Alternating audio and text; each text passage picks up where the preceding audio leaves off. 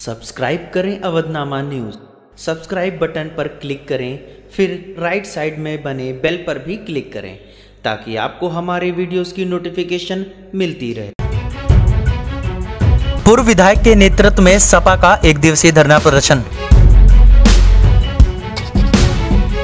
Samajwadi party के राष्ट्रीय अध्यक्ष अखिलेश यादव के निर्देश पर उत्तर प्रदेश भाजपा सरकार की जन विरोधी नीतियों व जन समस्याओं को लेकर तहसील रुदौली के प्रांगण में पूर्व विधायक प्रवक्ता सैयद अब्बास अली जैदी उर्फ़ रजदी मियाँ के नेतृत्व में एक दिवसीय धरना प्रदर्शन का आयोजन किया गया, जिसमें वर्तमान सरकार भारतीय जनता पार्टी के लचर प्रदर्शन पूरे प्रदेश के सौतेले व्यवहार, बढ़ती बिजली दर, किसान बंधुओं के कर्ज माफ़ी योजना को समाप्त करने, बढ़ती महँगाई, भ्रष्टाचार, महिलाओं पर हो रहे अत्याचार के विरुद्ध जमकर नारेबाजी की गई।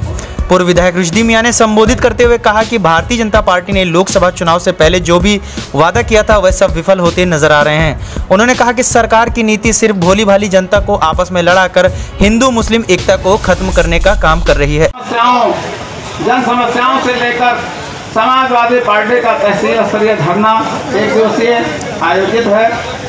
उत्तर प्रदेश में भाजपा सरकार का सबका साथ, सबका विकास व सबका विश्वास का नारा खोखला साबित हो गया है।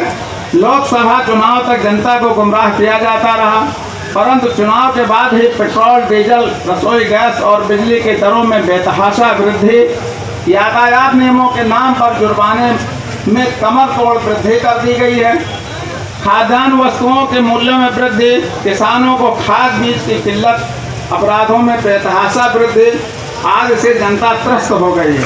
औद्योगिक समिट के नाम पर बेरोजगारों, नौजवानों को रोज़गार देने का झूठा वादा किया गया और भविष्य के साथ खिलवाड़ किया जा रहा है।